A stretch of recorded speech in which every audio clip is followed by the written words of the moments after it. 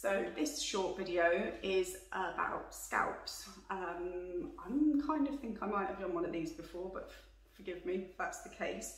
So scalp treatments uh, that I offer are for men and for women. Um, we can create the illusion of a hair follicle to either in people that have kind of a very short hair style um, between kind of like 0.5 and grade 1.5, uh, certainly no longer, um, to mimic the hair follicle. So it looks essentially like you have um, a full shaved head and you can work in areas so there tends to be kind of like either side of a widow's peak, the, uh, the spot at the top of the head, um, and also to create hair density, so the illusion of density within the hair. And that's a treatment that's actually quite popular also with ladies as well as gentlemen. Um, so if you have uh, coverage of hair, um, but the density's gone and you perhaps can see more pink of the scalp than you would prefer, then having your the illusion of density restored is a really nice technique to have done.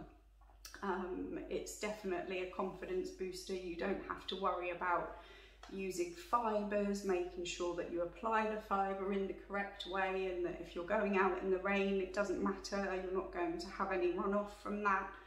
Um, and is proven to be more and more popular. I think it's something that is sometimes incredibly expensive um, if you go, go to certain clinics, um, but is not something that I believe I charge probably, probably even enough for. I think my prices are so reasonable.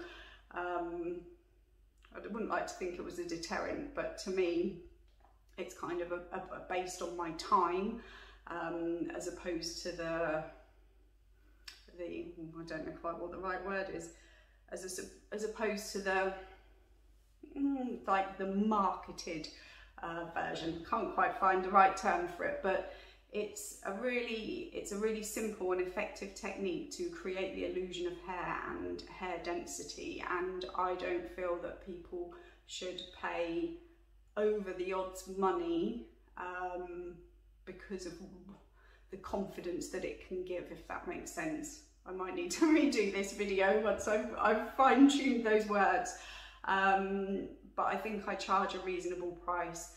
So um, have a look around. I'll hopefully try and tie this video in um, with some examples. I'll see if I can get clever in the editing.